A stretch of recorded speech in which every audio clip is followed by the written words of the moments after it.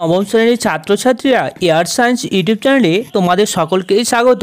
আজকের আমাদের আলোচনার বিষয়বস্তু, মডেল অ্যাক্টিভিটি টাস্ক পূর্ণমার্ক পঞ্চাশ, নবম শ্রেণির ভূগোল। তো কথা না বাড়িয়ে আমরা প্রথমেই চলে যাই প্রথম প্রশ্নে।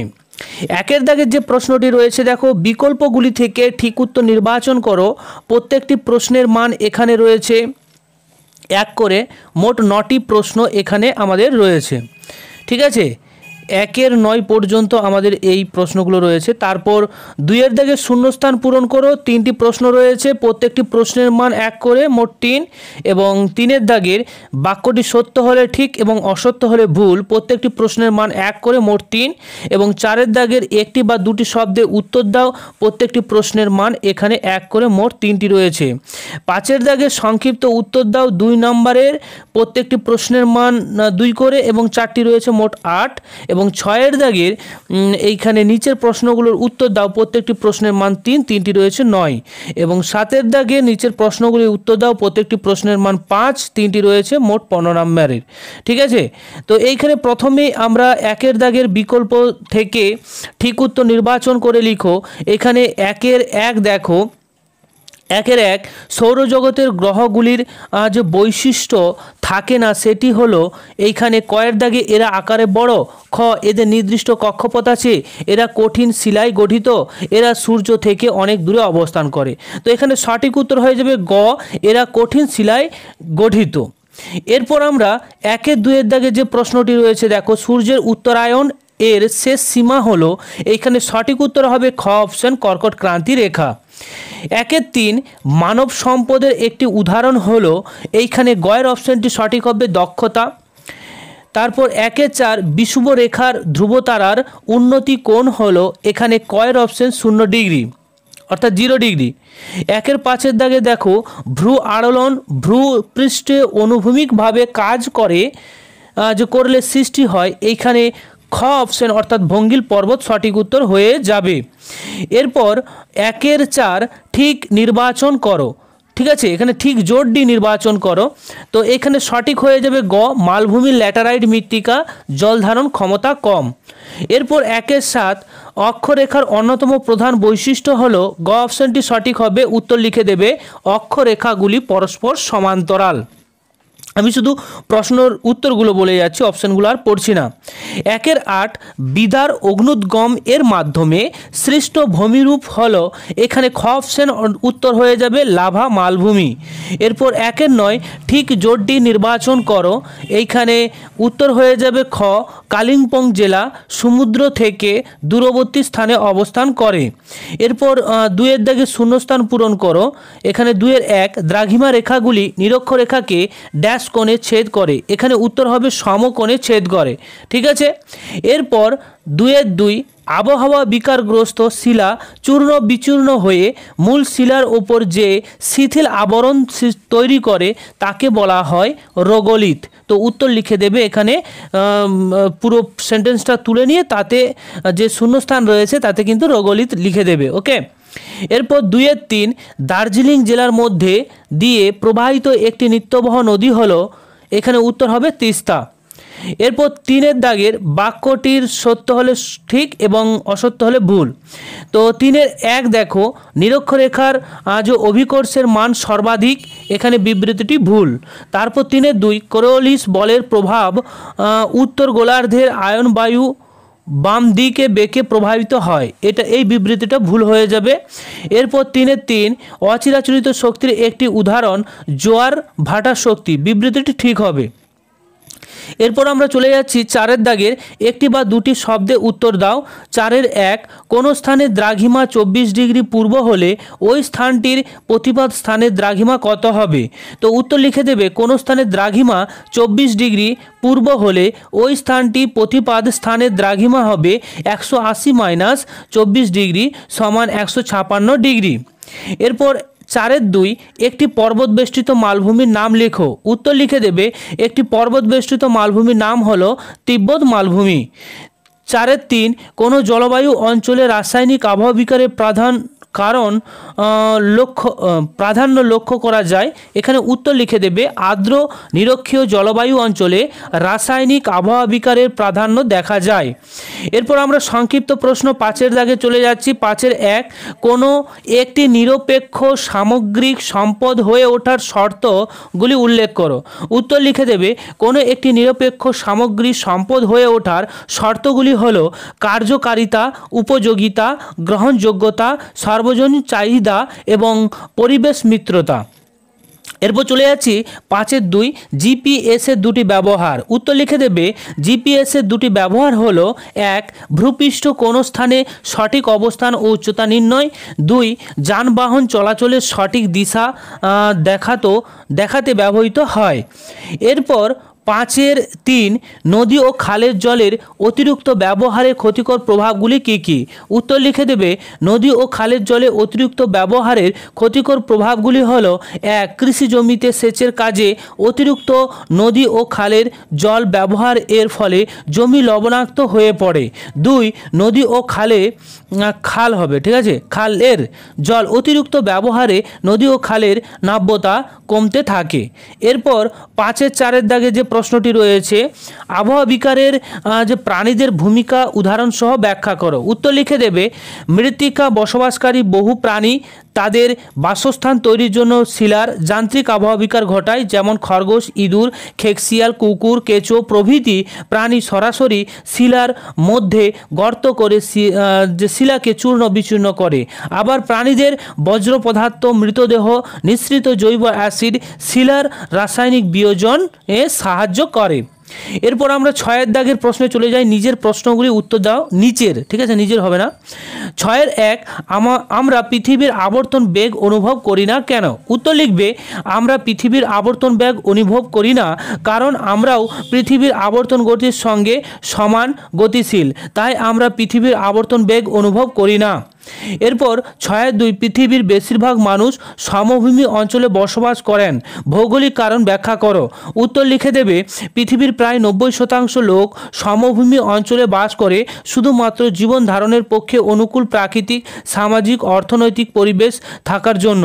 যেমন কৃষিকাজের সুবিধা, নদী গঠিত সমভূমি অঞ্চল উর্বর পলিমাটি দিয়ে গঠিত বলে পৃথিবীর অধিকাংশ কৃষিকার্য সমভূমি অঞ্চলে হয়ে থাকে। এরপর দুয়ের দাগে শিল্প স্থাপনের সুবিধা, শিল্পের প্রয়োজনীয় মালপত্র, কাঁচামালের সহজলভ্যতা, উন্নত পরিবহন ব্যবস্থা, ঘন জনবসতি ও চাহিদাযুক্ত বাজার সমভূমি অঞ্চলে থাকায় এইখানে ধাতব এবং কৃষিভিত্তিক উভয় প্রকার শিল্প স্থাপিত হতে দেখা যায়। এরপর তিন নম্বর পয়েন্ট উন্নত পরিবহন ও যোগাযোগ ব্যবস্থা, সমতল ভূ প্রকৃতির কারণে সড়কপথ, রেলপথ সহজে নির্মাণ করা যায়। ফলে এক স্থান থেকে অন্য স্থানের মধ্যে সহজে পরিবহন ও যোগাযোগ ব্যবস্থা সম্ভব হয়েছে।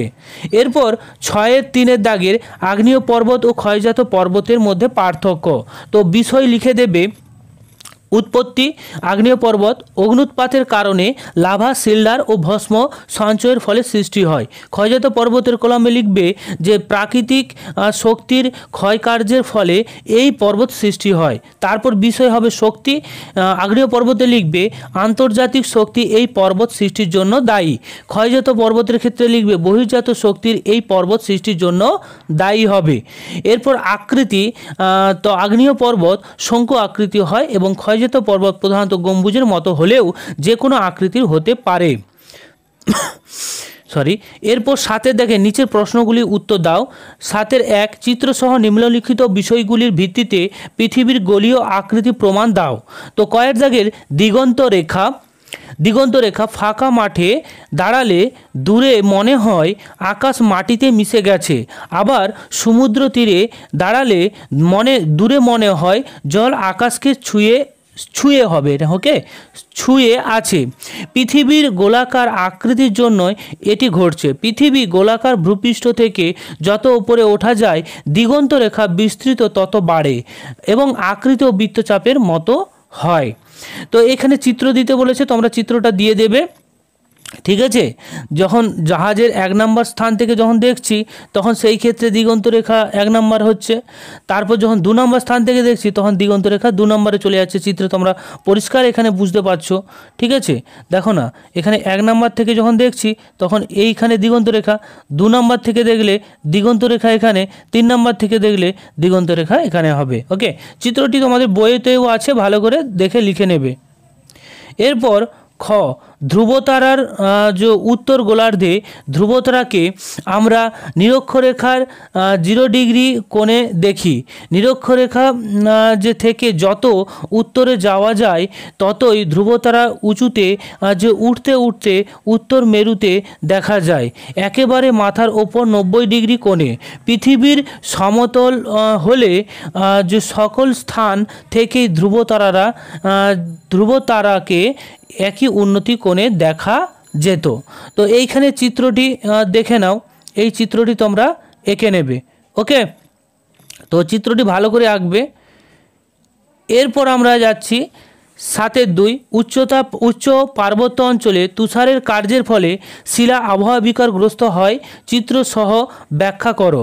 অক্সিডেশন বা জারণ প্রক্রিয়ায় শিলা কীভাবে বিয়োজিত হয় উদাহরণসহ ব্যাখ্যা করো। লেখো। উত্তর লিখে দেবে, তুষারের যে কার্যের ফলে আবহাওয়া বিকার, এখানে হেডলাইন করবে, তুষারের কার্যের ফলে আবহাওয়া বিকার। ক্লিয়ার তারপর লিখবে, উচ্চ পার্বত্য অঞ্চলে অতিরিক্ত অতিরিক্ত তার সংস্পর্শে এসে শিলা ফাটল সৃষ্টি হয় এবং আয়তনে আজ ফাটলের গায়ে প্রচণ্ড চাপ সৃষ্টি হয়, দীর্ঘদিন ধরে এই প্রক্রিয়া চলতে থাকলে শিলা আজ ফাটলটি আরও বেড়ে যেতে থাকে এবং অবশেষে মূল শিলা দেহ থেকে শিলা স্তর খণ্ড খণ্ড হয়ে ভেঙে পড়ে। ঠিক আছে?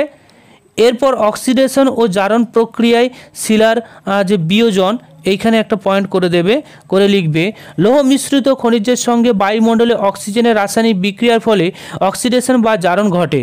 লৌহ আকরিক লৌহ যখন ফেরাস অক্সাইড হিসেবে অবস্থান করে তখন তা সহজে ক্ষয়প্রাপ্ত হয় না।